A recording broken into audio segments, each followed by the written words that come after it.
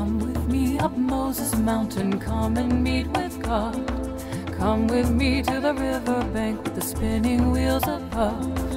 Come with me up Moses Mountain, come and meet with God. I'm going by the definition that spirit led worship is moving with the Holy Spirit in a flow.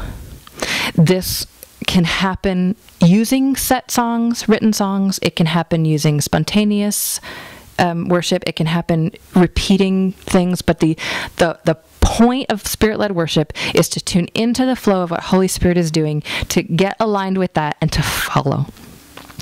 Um, a good way to facilitate moving with the Spirit in a flow is to make space for times of open worship in the songs.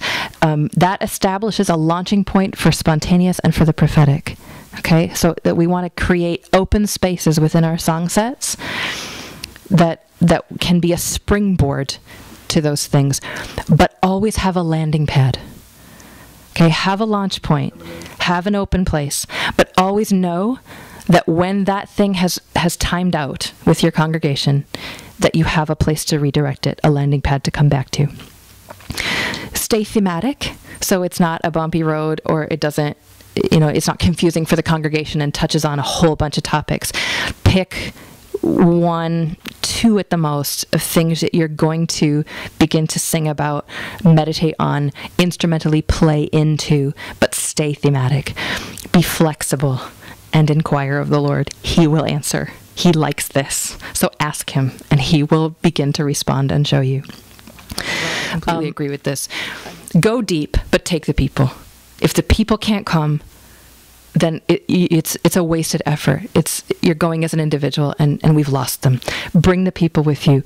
That being said, sometimes we have to press in past the comfort place of the people to push them and stretch them into somewhere new.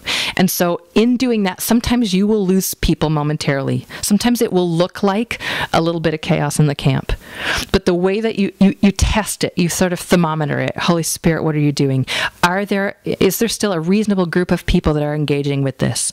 Even though people are going, oh, what is this? Are they still nodding? Are they still engaging? Are they still singing? Even if it feels like for a minute it's like, oh, we going? You'll know with experience how to press them deeper and then when to pull them out again, when to bring them back into a place that they're comfortable with. And this is how we grow and advance corporately. This does not rest on the ability or the talent or the propheticness of the worship team. It's your ability as a leader to press them in, to push them a little beyond, and then to bring them back. And then corporately we will go. Um, watch for Holy Spirit, watch for the body's response, and this will tell you. And don't be afraid to get it wrong. The worst that can happen is we have to pull back to the landing pad. It's fine. This is how we learn.